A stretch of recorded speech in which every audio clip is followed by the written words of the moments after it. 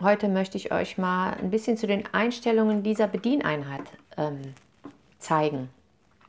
Und zwar geht ihr, klickt ihr einfach nur mal hier unten einmal kurz auf das äh, Zahnrädchen, dann kommt ihr in die, den Einstellungsmodus für dieses Gerät eigentlich.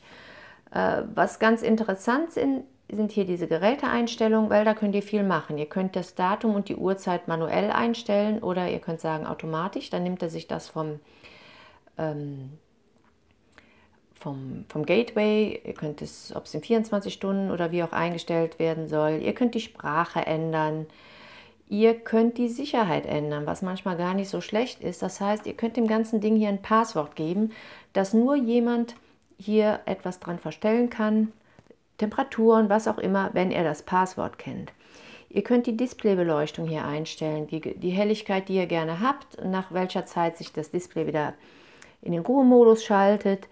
Ihr könnt einstellen, wie das Display aussehen soll. Also äh, hier, ihr seht, ihr könnt eine Uhr oder diese Uhr oder halt alles Mögliche einstellen.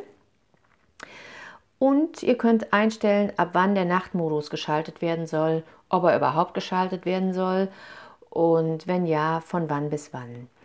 Ähm, das sind schon mal hier so diese Einstellungen, die ihr hier nochmal so ein bisschen individuell, individuell anpassen könnt, wie ihr das gerne hättet. So, hoffe es hat euch gefallen. Vielen Dank fürs Zuschauen. Bis zum nächsten Mal. Ciao, ciao.